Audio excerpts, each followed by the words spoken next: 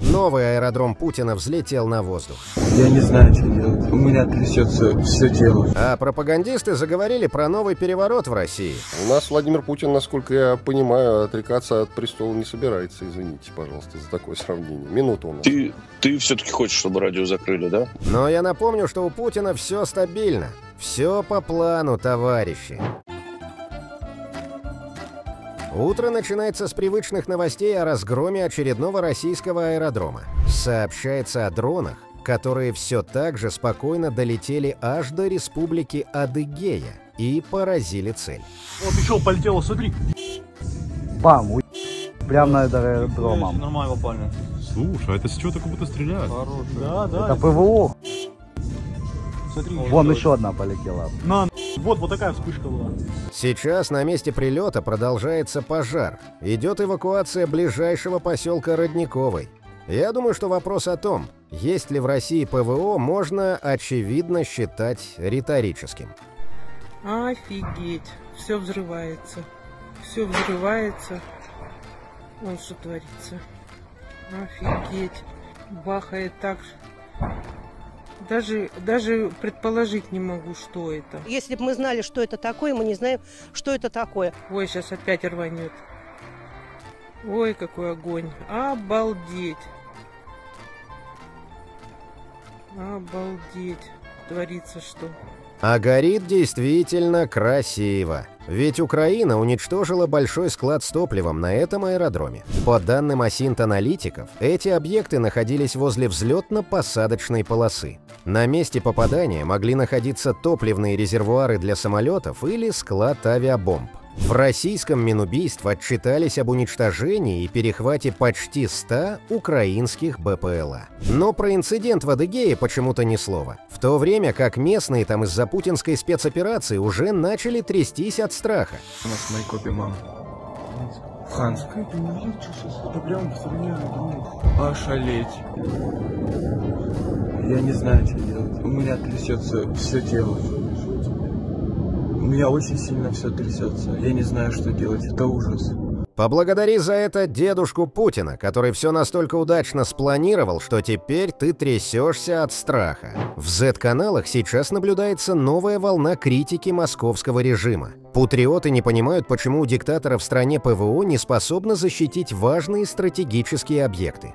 И зачем тогда нужно было продавать ее другим странам? За последние дни произошло несколько серьезных ударов по объектам в тылу наших войск. В Феодосии атака на нефтебазу спровоцировала длительный и масштабный пожар. Затем под вражеский огонь попал арсенал в Брянской области. Там была зафиксирована серьезная детонация. В Краснодарском крае дроны ВСУ атаковали военный объект. Враг распускает слухи, что якобы там был склад с сотнями беспилотников типа Герань-2. И вот теперь в Адыгее вражеские дроны атаковали аэродром Ханская. По нашим данным, там получили повреждения два самолета. Также атакованы резервуары с топливом и склад с боекомплектом. Пообщавшись с собеседниками в Минобороны и Генштабе, сделали два тревожных вывода. Во-первых, интенсивность атак вражеских беспилотников растет. Об этом мы предупреждали и раньше. Важнее и то, что дроны летят дальше, а значит, под удар может попасть все больше объектов военной инфраструктуры. Во-вторых, нас беспокоит ситуация с защитой тыловых объектов.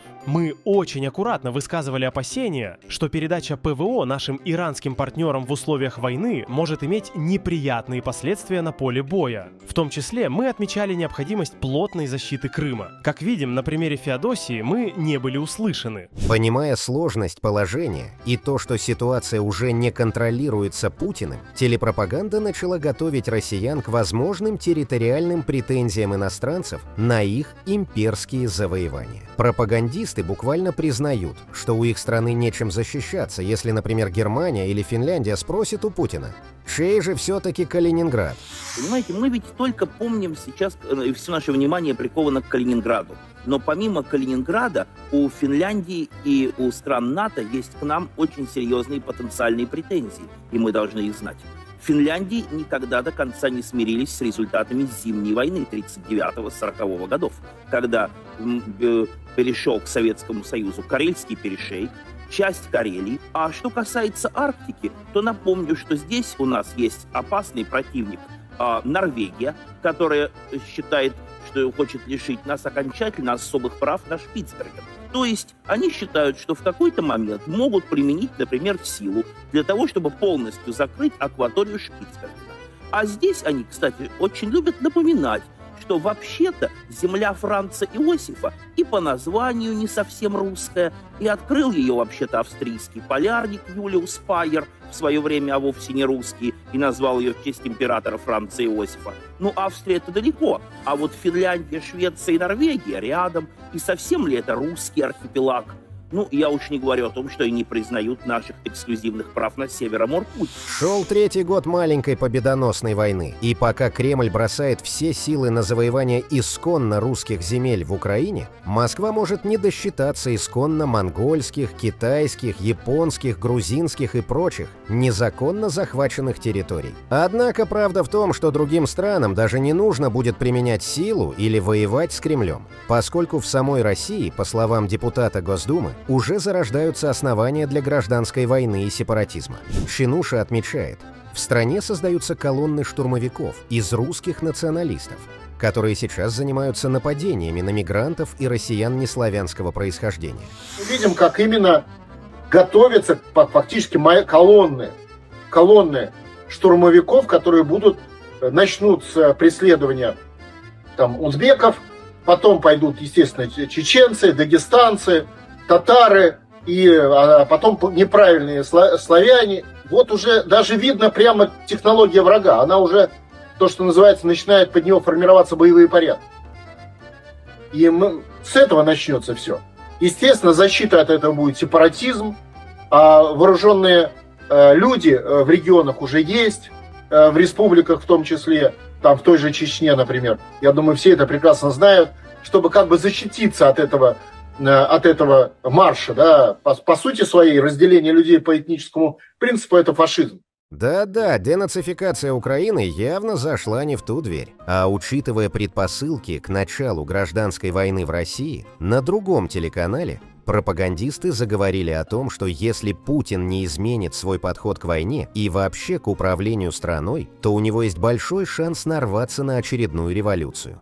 Пропагандист считает, что не нужно никого пугать ядерным оружием. А если уж про него и вспоминать, то для того, чтобы только непременно ударить, например, по Польше. Я думаю, полякам это будет полезно услышать. Просто я переживаю, чтобы мы в феврале 2017 года не оказались. Вот за это я переживаю.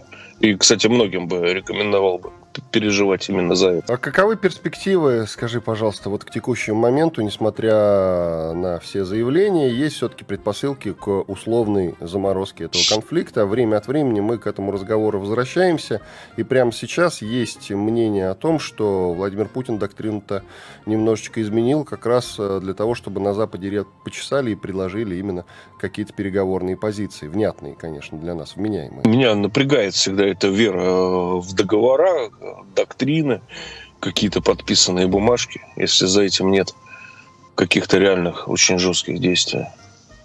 А что вот. ты имеешь в виду под жесткими действиями? Ну, доктрину изменили, так примените ее разочек. Всем известный польский аэродром Жишув, через который идет поток оружия, который убивает наших людей. А ты э, не, скажем так, не боишься, не переживаешь за то, что НАТО таким образом ну, будет вынуждена э, по-настоящему вступить тогда в войну? Да нет, я просто я переживаю, чтобы мы в феврале 2017 года не оказались. Вот за это я переживаю. И, кстати, многим бы рекомендовал бы переживать именно за это. А какие предпосылки именно? Почему ты ссылаешься именно на этот исторический период? Что, что схожего? У нас Владимир Путин, насколько я понимаю, отрекаться от престола не собирается. Извините, пожалуйста, за такое сравнение. Минута у нас. Ты, ты все-таки хочешь, чтобы радио закрыли, да? Вот. А меня лишили аккредитации Минобороны. Вот она, настоящая свобода слова в России.